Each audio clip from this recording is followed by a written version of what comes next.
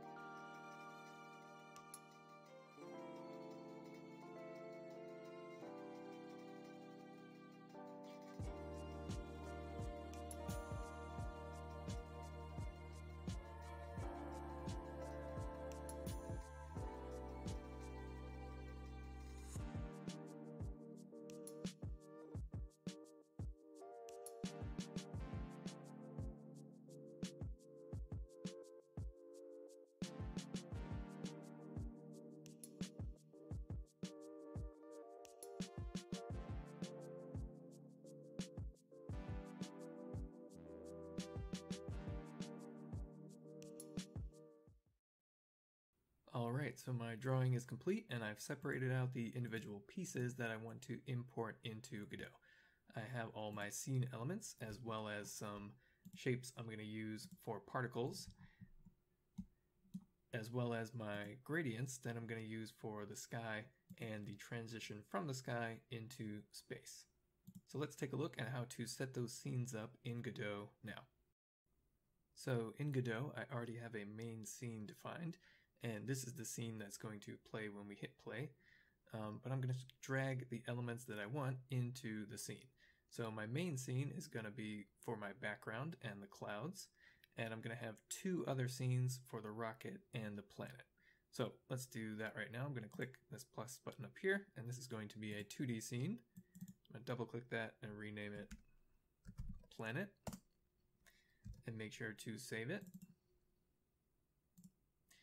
and I'm going to add another one, and this will also be a 2D scene, and I'm going to call this rocket. Make sure to save that, and there we go. So let's go ahead and add our background elements in our main scene here. Um, so I'm just going to click and open the folder in the file system over here on the left, and just drag in the elements that I want. So um, I want my sky background, and to make sure I'm actually getting it within the bounds of the viewport, I'm going to turn on snapping up here in the menu. And then zoom in and make sure that everything is where it needs to be. I'm going to drag in my gradient.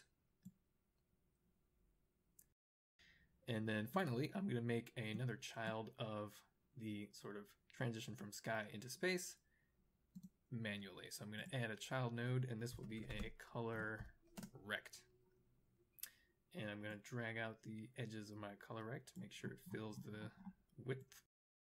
And if you hold shift while you move something, you'll actually move it along an axis. So either X or Y, whichever one you start, and that just is a good way to help you move things in a straight line. And then I'm going to change the color of the color rect. Let's click on the color over here in the inspector and the little eyedropper. And then I'm going to click right at the top of my gradient. So I'm also going to resize this because I want there to be enough room for the rocket to move around.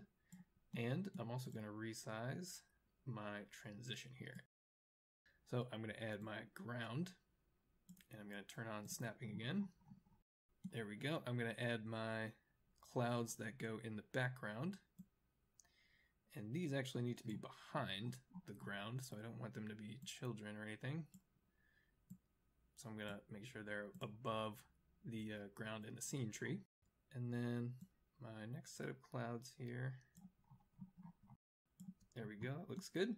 And I'm basically just to keep dragging in elements. I can turn off snapping now because the other foreground clouds, um, they don't have to be exactly positioned. So let's go ahead and do that.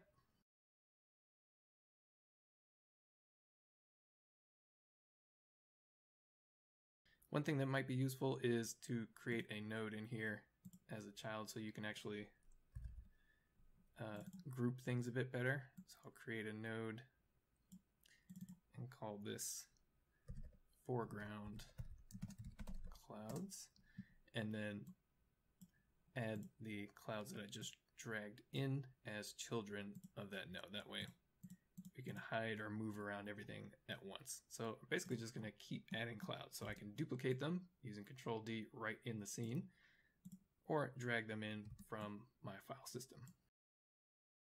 There we go. I think that's pretty good for a sort of basic group of foreground clouds. So now I'm going to hide that and I'm going to make another node in here for the clouds that are going to be moving around in the background. So we'll just say background Hopefully that's not confusing with the other actually named background clouds. Uh, but I want my foreground clouds to be behind, or sorry, the background background clouds to be behind everything. So I'm going to make sure that's selected and then just drag in some more of the same clouds and they're automatically children of the selected node. So for these, I want these to be smaller. So I'm going to hit S on my keyboard and hold shift to uniformly scale each of these because I want these to appear farther away. And then just duplicate those and stick them wherever you want. Alright, I think that looks okay for the clouds that will be in the background. Um, so for this entire group, I'm actually going to decrease the opacity. So if I select the node that's the parent of all these clouds, and this is why it's another good uh, reason to group everything within a node, because it will apply whatever I do to all of them. I'll drag down the sort of alpha channel under modulate. Um, that looks okay. So I'll turn on my foreground clouds and there we go. So that's a pretty basic setup. Looks pretty good for my first scene here.